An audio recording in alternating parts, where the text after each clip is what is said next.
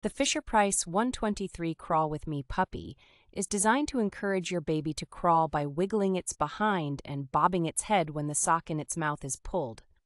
This adorable electronic dog toy features soft ears and a tail, as well as realistic movements that will entertain and engage your little one.